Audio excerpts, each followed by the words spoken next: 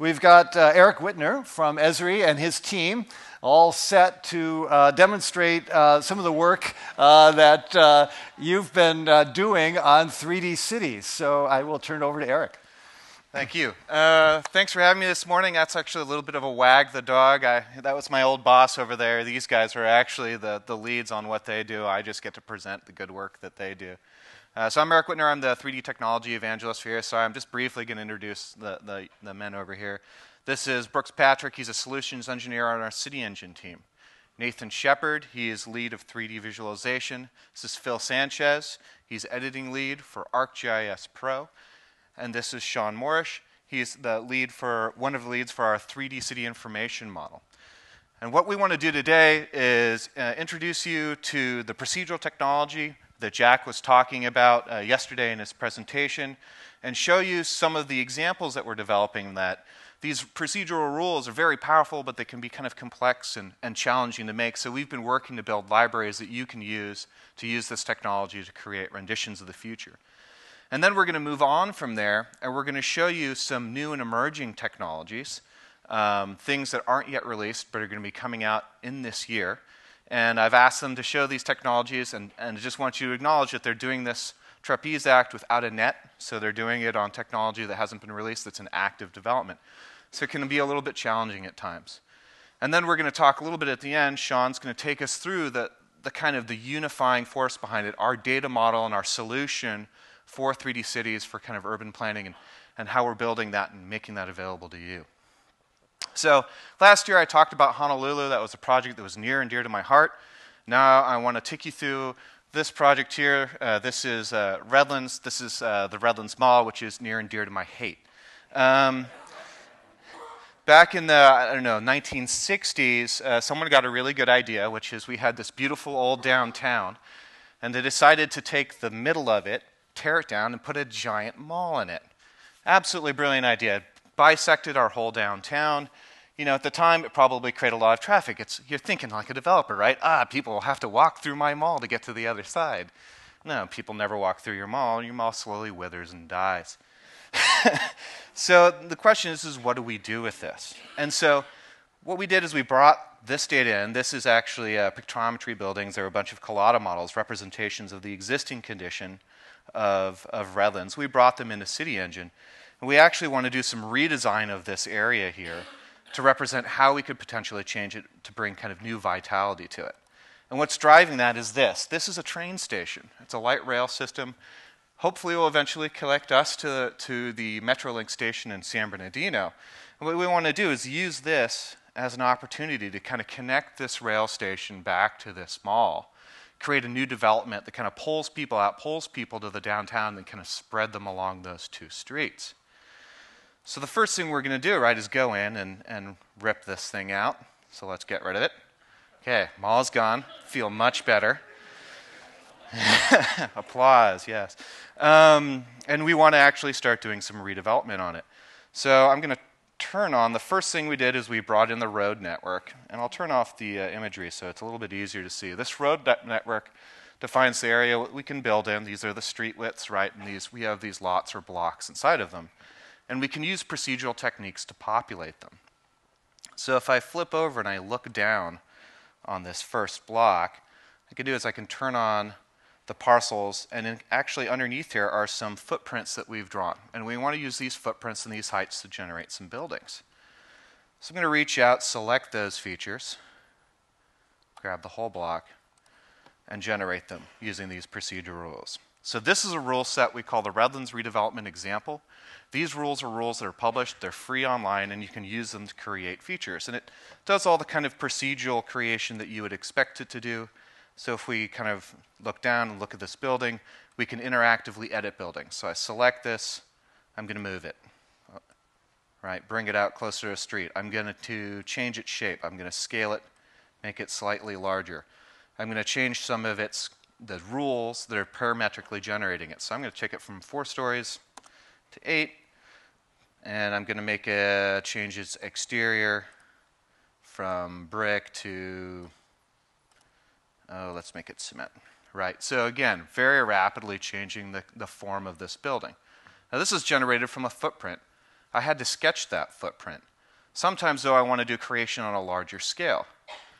So if I look at the second block here, I have a set of parcels. These parcels are actually being subdivided on the block. So if I turn this off and I select the block, right, we can see there's a rule for how I subdivide it, skeleton subdivision, etc. So what I'm going to do is select this area again, use the rules, the Redlands redevelopment rules to generate the 3D. Let's take a look at what we created. Right, so here's that block. And what the rules are automatically subdividing that block into parcels. So if I go ahead and turn off these, grab the block, look at its attributes. Let's turn the models back on. And I'm going to change the way it subdivides itself, turn it into an offset subdivision, right? It adapts, the models are regenerated automatically. So very, very rapidly, very easily creating uh, 3D features just by applying a rule that you don't have to write. We've written this for you. So I'm going to select all the content in the city of Redlands, and I'm going to generate the whole 3D city. This is going to take a little bit of a second. You might notice that we're not just creating buildings, we're also creating vegetation, which we'll talk a little bit about more later, and we're also doing streets. Streets are parametric as well, so you can apply rules to them to generate them. Um, this, this example that we've created in Redlands has greatly improved streets. Um, probably annoyed Shannon to uh, quite hor- horrible extent there that the original street rule didn't have bike lanes. So now we have bike lanes, now we have parking. And just to prove these are parametric, you know what, Shannon? I'm going to turn off the bike lanes. No bike lanes for you. Take it back to the way it was. You notice it adds lanes, it fills out the distance. So this is all, all parametric as well. Now, why do we care about this, this parametric creation of objects? Well, the powerful thing is what Jack really highlighted is, is that there's intelligence built into these. So what we have here are these kind of strange colored shapes. This is use type by floor in a building. So I can select this building. Again, if I look at the parameters, there's a parameter called zoning. And I can look at the usage in the building. Right now, let's see, grab just one. I don't want to change the whole city, just one building. So it's got one floor of commercial. I'm going to make it have two floors of commercial, one floor of office space, and I'm just going to make the rest residential. Right, colors change. I can see my use types. Why do I care? The reason you care is, is because there's actually a whole series of metrics that are being generated off this that you can use to drive your design. So it's actually generating electrical consumption, water consumption, energy consumption for heating, wastewater production, brown and gray water, all off of this, this use type that's set on these buildings. And these are coefficients that you can build in. And you can actually start procedurally building other features into it. So you notice this has solar panels on it. So it's using those solar panels to calculate how much energy it's generating, subtracting that from its consumption and giving you a use. You could take other technologies. You know, uh, green roofs is another example I'll show a little bit later. But various technologies used in design construction, build them into these procedural rules and have them affect the metrics. And then play with your designs to try and get optimal, optimal performance. And the great thing is, is these metrics, right, when you share this, this is a web scene. Does everybody know what a web Raise your hand if you don't know what a web scene is. Okay, a few people. A web scene is a, just a format that allows us to share our 3D on the web with, uh, in a browser. So these, this uh, web scene here is of the same extent. All those metrics on this building, right, if I select this building, they're showing up here on the web. So I can actually take my 3D design, share it on the web, and people can actually see the performance metrics there as well. So this is, this is kind of color-coded thematically. It's just it's not just uh, that kind of thematic information. This is runoff. So we're actually calculating the amount of uh, water runoff for these areas. You notice the street, the, the median is catching more water. The planters on the side are catching more water. So the, the roads themselves can, can do these kinds of calculations as well. If I go out down and look at the report for the road, um, you'll see, right, percentage impermeable surface, total, total amount of runoff is being calculated on the fly, along with information about construction cost, cut, fill, etc. So you notice these buildings have dark, dark blue roofs. You might be wondering why. Um, they're actually catching a lot of water because, in this case, they're green roofs. So if I turn the textures on, right, you can kind of see the green pattern that we've put on those roofs. So again, we're conditioning the reporting and we're conditioning the thematic mapping based on the design features of the building that we're generating. Now, what I've shown here is creating from street center lines, creating buildings from footprints, creating buildings from parcels, but this is actually also an interact, interactive creation tool. So we can go in and create new features. So what I'm going to do is I'm going to go ahead and create a new block. We have this kind of empty area here. Going to go in, start creating a street. It grabs the attributes from the first street, and then it's going to grab the attributes from the second street, which is going to be a little wide here. So now it generated new streets. Turn the models off, right? I can see this block. I'm going to select the block, tell it to generate some parcels on there. There's the parcel. There's the models, and I'm just going to go in, grab a rule that we've already written and drop it on there. Get a simple block, a simple mass. That mass still has square footage and intelligence associated with it, right? And metrics, but I can go ahead and flip the facades on and just very rapidly generate a simple 3D building. So this is one of many example rules we're building in this rule library so that you guys can use procedural technology on your own projects. So what if I wanted to continue this? So if I'm going to zoom out, you'll notice there's kind of a, a park area here uh, next to these buildings, and I want to populate that park with vegetation and make it attractive. So I'm going to turn it over to Brooks to go ahead and show how we can use one of our new rule sets for vegetation to do that. All right, thanks, Eric. Um, so uh, this is taking you right back into that model of Redlands. Um, this is actually uh, Brookside Avenue, right down the street from here. Uh, so not only can we create uh, new designs, but we can recreate the world. Uh, what we did was we were able to take tree points uh, from Redlands, uh, the city GIS database, and replace them with accurate uh, models of trees and flowers even. So what we've been doing is working closely with a partner of ours, Eon Software. Uh, they're the guys who are responsible for the vegetation in the Avatar movie. and so what we now have are over 100 different uh, species specific uh, tree models. And we've gone in and created uh, a database that even has the hardiness zones for each uh, model. So, with this, we provide it out to you uh, via a nice project, uh, just like the Redlands examples. and we can actually model vegetation.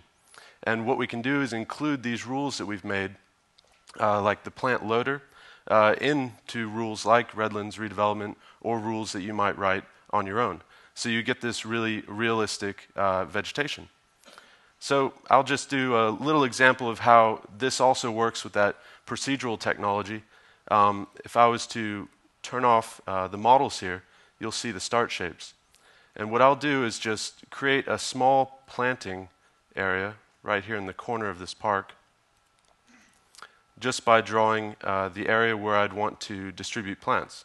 And there's no fancy uh, scatter tool here. It's all uh, just built into what CityEngine can already do.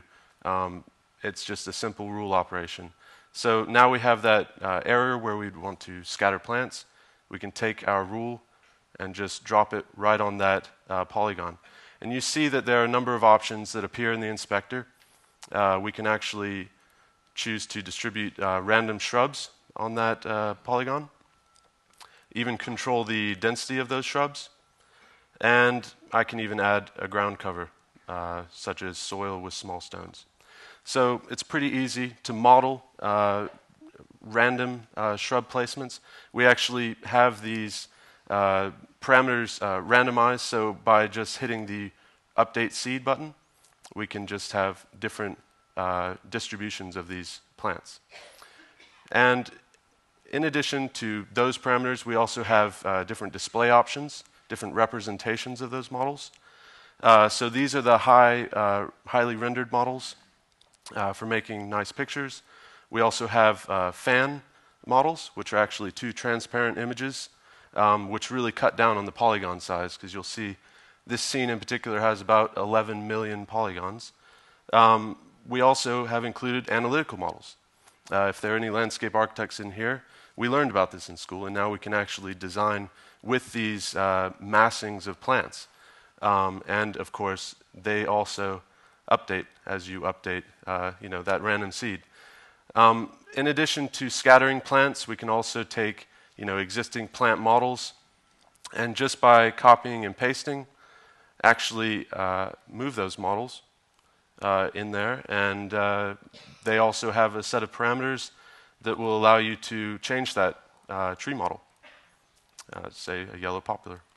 So if I zoom out uh, real quick, we can actually take all those trees for the entire city and select that analytical model. And by doing that, we can then really go in to investigate the total tree canopy coverage of a city, uh, look at how that affects the city's heat island, um, look at different shadow analysis and view shed analysis in ArcScene, uh, and so forth.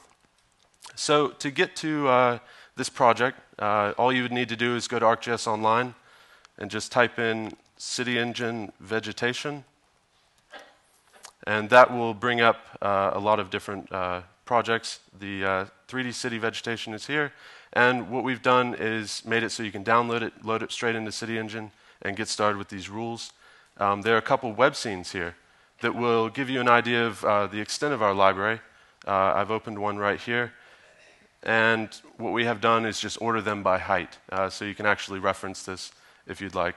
Um, we don't have uh, millions of trees, but these are a great start uh, when it comes to symbology and really mapping out uh, your current vegetation and, and actually designing with it.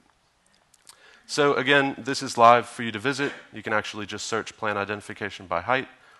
Um, in addition to web scenes, um, I wanted to show you guys some cool stuff. Uh, you might have seen the Oculus in the uh, lobby last night. Um, what we're also looking into is how to use game engines in really visualizing these environments and rendering them dynamically. So what we've done is take uh, that same scene and uh, drop it into Unity. Uh, so right here, after you build a game in Unity, you get the files and the, the exe file to run your game. I'll go ahead and execute that. Um, Unity is just one of many game engines. Uh, Crytek is another one. Uh, even some game engines, particularly for architecture, uh, like LumenRT or Lumion, um, they're all really next generation presentation modes, uh, really to the extent of being able to uh, experience your design.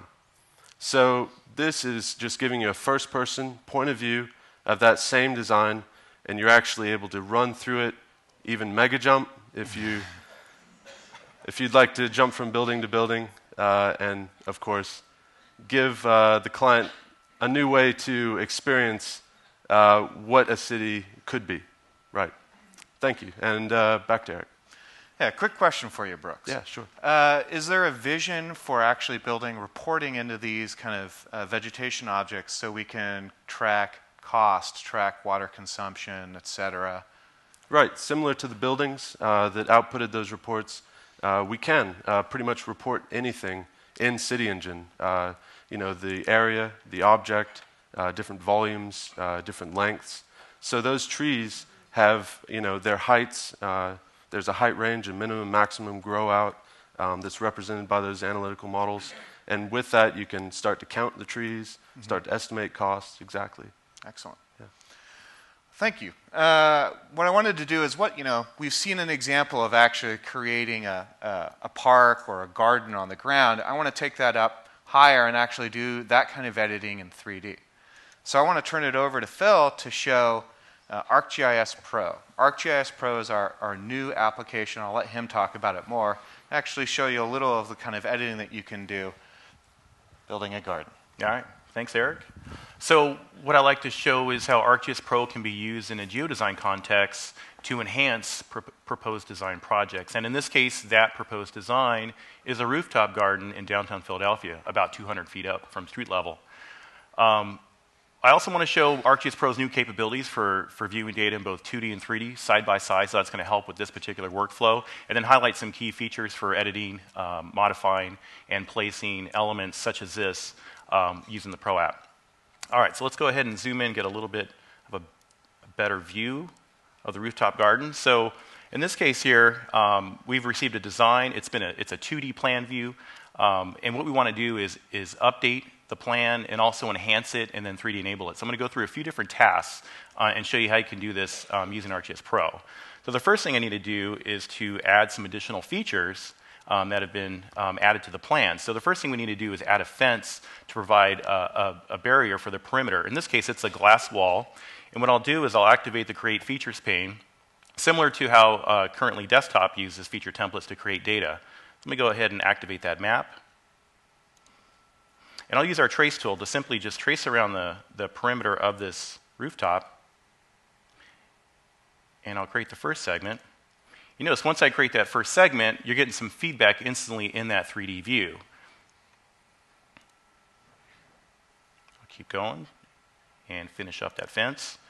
So there you go. So as you draw, you're getting feedback in that 3D view. And in this case, that particular type of task is more appropriate to draw in a plan view as opposed to 3D.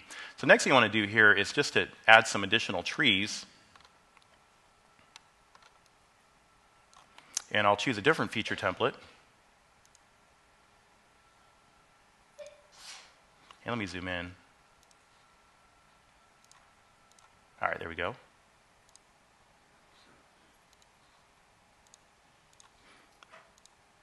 And as you start creating features, you're seeing them dynamically.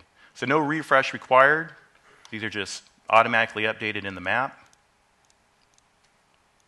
In this case here, we need to add some screen trees. There's some HVAC facility on top of that, that roof on that side. So now we're done with, with using that 2D plan view. I'm going to go ahead and close it just so we can get a, a better view of the rooftop.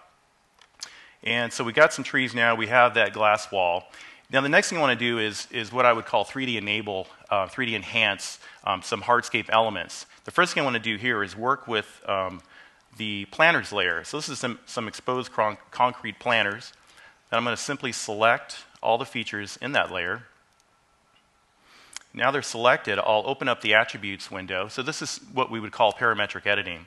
And I'll select all those features, enter a value for the site. There we go. So because this layer is already prepared for, for extrusion, we can simply add some attribute information to that uh, to, to provide the height for it. I need to do the same for the corresponding soil in those planters. So same task, slightly different value. All right, I'll clear that. And the next thing I want to do is there are some, some, uh, some benches that are associated with those planters. So what I'll do is I'll select those again. In this case here, I'm going to perform an interactive edit. So I go to the Edit tab. Let me zoom in a bit. And I'll click on this Move tool. And what you'll see is some handles that are going to provide uh, the ability to reposition these features.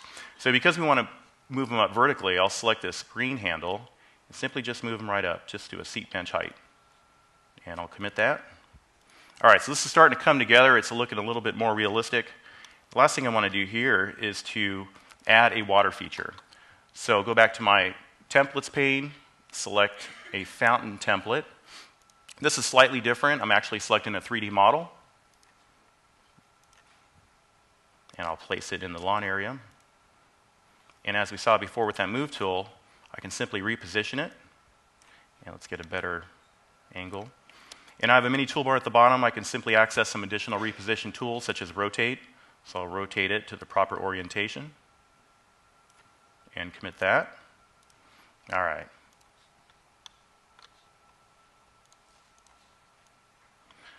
All right, the final thing I want to do here is to turn on some more layers. Of course, there's, there's additional elements in this rooftop garden design.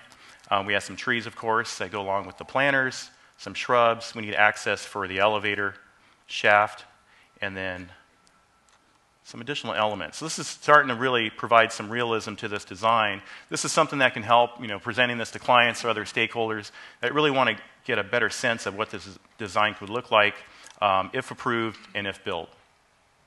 So there's how you can perform some small-scale design, geodesign with ArcGIS Pro and you can simply just zoom to different locations and get a better sense of what that garden could look like. Thanks, Eric. So, what is ArcGIS Pro? Well, it's, it's a new desktop application that we're working on currently. It's a 64 bit app, it's multi threaded, um, it supports multiple views side by side, as you can see here, uh, multiple layouts. It's a modern, you know, updated user interface. We're using the ribbon now. Um, so we're really trying to simplify the user experience, still providing a lot of functionality and, and capabilities that desktop GIS um, you know, require for a lot of workflows, and uh, it will be available later this year. Excellent. So this is the beginnings of the unification, where we take scene, globe, map, combine them together into a single application. We have 2D and 3D at the same time. Uh, we have 3D layouts, so you can actually make 3D maps, which you referred to briefly in there. And uh, so it's going to not replace the other, there are other products will continue to exist, but this will be a new tool for doing design work in to kind of blend that 2D, 3D world. Okay, so we've seen a lot of example rules uh, built on footprints and parcels and uh, street data. We've seen vegetation built on top of uh, the tree information from a city. Um, and we've seen uh, creating this uh, kind of great garden view within a city. Now we actually want to take this, put it all together, and share it out to the world. And we have some new technology that's being developed in order to support that uh, kind of above and beyond traditional web scene. I'm going to turn it over to Nathan to talk about what's coming next with that.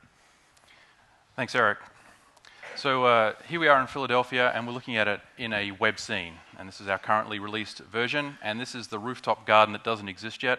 You can see it looks much better after we do something with it. Uh, so the key point of web scenes is to uh, provide a, a, critical element of any design, and that's sharing it, whether that's to get feedback or whether it's to uh, get uh, other ideas for changing the design. And the web scenes support all of those, so we can turn comments on, and people can look at the design uh, and make comments about whether, whether or not they agree with it. Uh, the current release of web scenes is uh, one of its, one of its uh, current limitations, if you like, is it can only handle a certain amount of data volume. So it's fine for this use case and many use cases, but as soon as you want to start getting bigger and looking at things further out, then we need a, an, an, updated version, and that's what we're working on now, uh, where it's more like web maps and all of the content streams in. So this is the view of the rooftop garden from space. so not really a good use case for, uh, for a global 3D map, uh, but something that is a good use case is uh, climate data. So whether that's uh, storm tracking, or in this case, uh, the path of Hurricane Andrew, we can come down and we can see where it went, and we're thematically showing wind speed and also uh, labels for that, for that wind speed.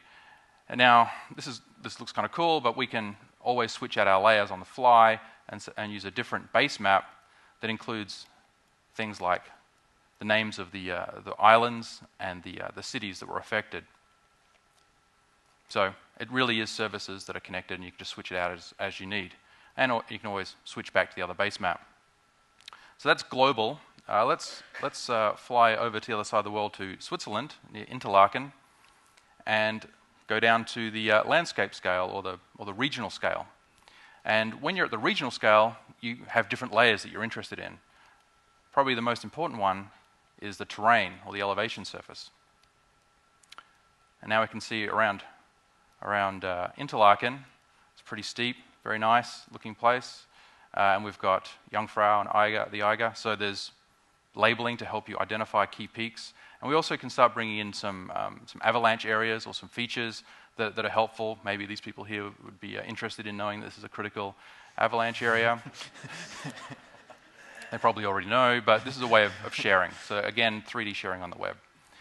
So we'll just zoom out a little bit, and then we'll go uh, to the next scale. So we've done global, landscape, regional scale. And now we're going to go down to the city scale. And we're going to go to San Francisco. And again, different layers, we're a different scale, uh, different contents required.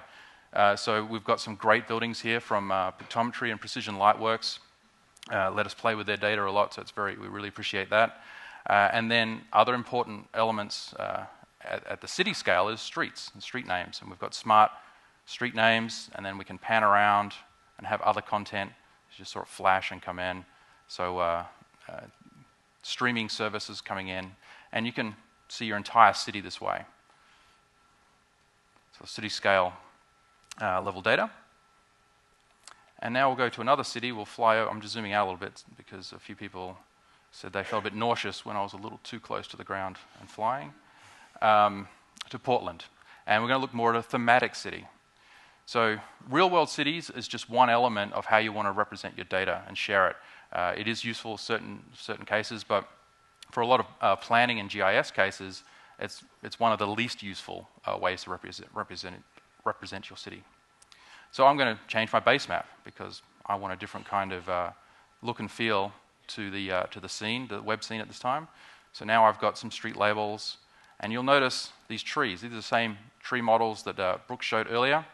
And Portland actually has a point feature with the height of the tree and the crown width of the tree. Just, so it's a point feature with two attributes. And from that, we can create this representation of it It's very close to the real world and very useful for, for planning. Uh, so we can turn on the shadows for them. And we can see the shadows adjust. This is in March. Uh, and it's also useful for cases where we want to maybe put a proposed building in and see what, what difference that might make. So in, in July, you know, that extra shadow from that new dark, evil building is, um, is, is pretty minimal. But if we, if we switch to, say, November, you can see that nearby buildings are impacted by it. So this is some visual analytics done on the fly straight away, uh, really fast, just using using 3D GIS in general. In this case, we happen to be using the, uh, the web scene viewer. So, uh, so web scenes are important for, for sharing 3D content at all scales, whether it's a single building, entire city, a region, uh, or, or a global scale uh, set of information. So I'm going to hand it back to Eric, and he's going to introduce the next element for using consistent data models and workflows to make doing this task easier. So I just want to highlight this it might be a little subtle. This is a 3D web scene. It's running in a browser. It has no plugin. We saw a hurricane. We saw regional information interlocking and two cities streaming into a browser, just like that. So large scale data now without any plugin. I think that's pretty incredible. So again, we've, we've talked about kind of all the things you can do with it, but how do you get there? That's the challenge is what's, what's the best practices that you can use to get there? And last year we we kind of introduced the, the alpha version of what we were working on, which was the at the time called the uh, 3D UIM. Now it's the 3D City Information Model, which is a component of ArcGIS for 3D cities, a larger solution for doing city management, city planning. I want to turn over to Sean to talk a little bit about that and, and kind of show you the gateway of how you can get involved and actually use some of this technology. Thank you very much, Eric.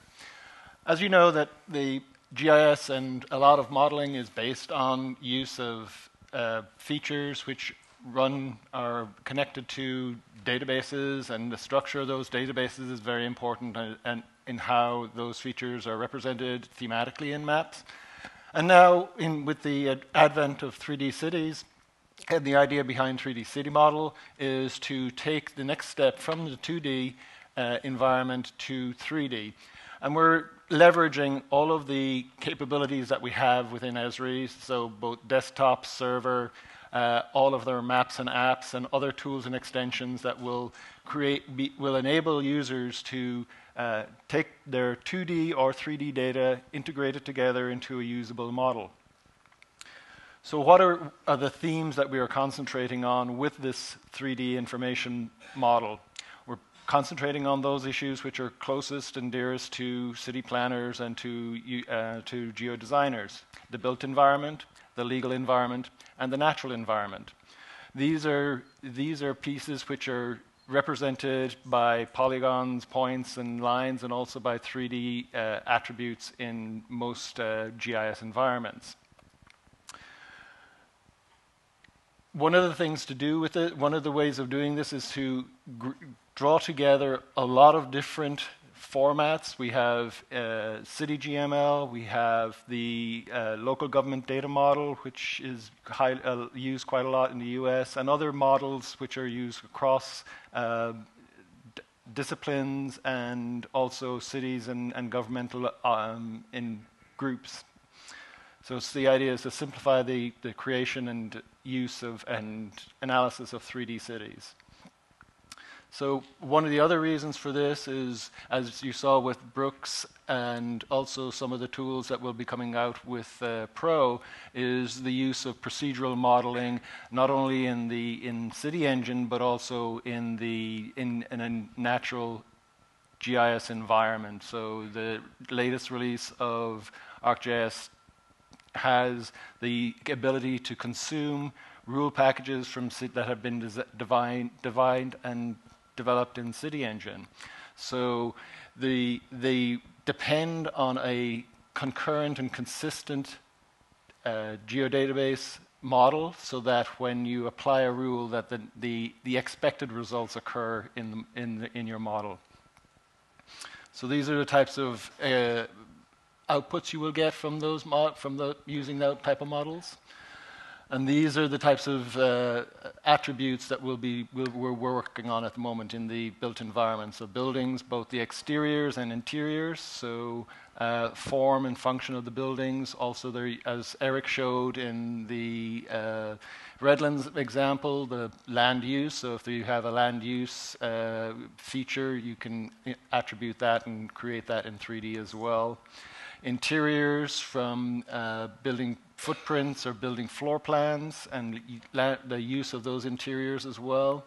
And also integrating routing and uh, multimodal connections between interiors, exteriors, and, and other parts of the cities to better use the space within the city. And then for managing cities, there's the issue of installations, street furniture, uh, the many trees that Brooks created that have, will have to be watered and trimmed, and then also the utilities to deliver the necessary uh, services to all of the users and to the trees and other other parts of the city, and take away all the necessary uh, um, used issues. Uh, then, for the in the legal environment, many people, many many users have expressed the, the, frustration with having to read many, many um, pages of zoning regulations, and the idea is to be able to condense those zoning regulations into simple, uh, consumable uh, rules which will allow you to uh, experience and view those regulations in, in true 3D. So if you have a height restriction, a setback restriction, or a step back restriction for certain areas of a city, or a, a type of zoning, you want to be able to see how that affects the city. Uh, it, looking at it in 3D is so much easier than trying to understand the uh, legal uh, written experience of it. And then also the natural environment, because you are designing on top of the natural environment as well. So these are the effects, these are the things that you're going to be affecting, so you want to take those into account. So things like groundwater management, uh, expectant wind, wind range, you don't want to build buildings and then uh, suddenly discover that you have uh, constructed a mini tornado alley in uh, your nice, nice now new development downtown.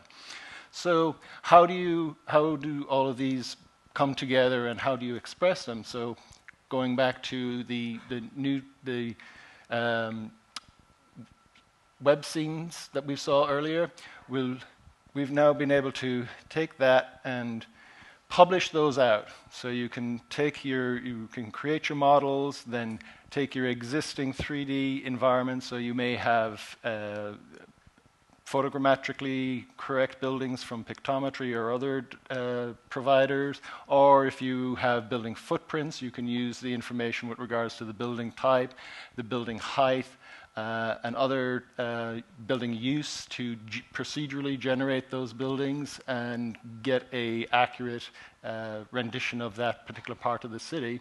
And then, as you see here, we have uh, we have the rendition of the city, but we also have these these spaces are shapes, and they're not just uh, they're not just volumes, but they're actually they re- they represent the the planning uh, space and setbacks that the rules and regulations for the and the zoning regulations for the city have defined.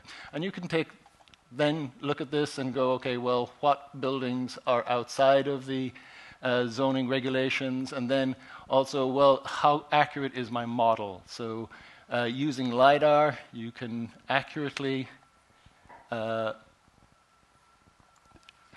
represent the heights of the buildings, what they really represent. So these red zones here are the actual point densities above the building's height, so they represent the true heights of those buildings. And then also you can take another way of looking at it is, is what is the developmental potential of these areas.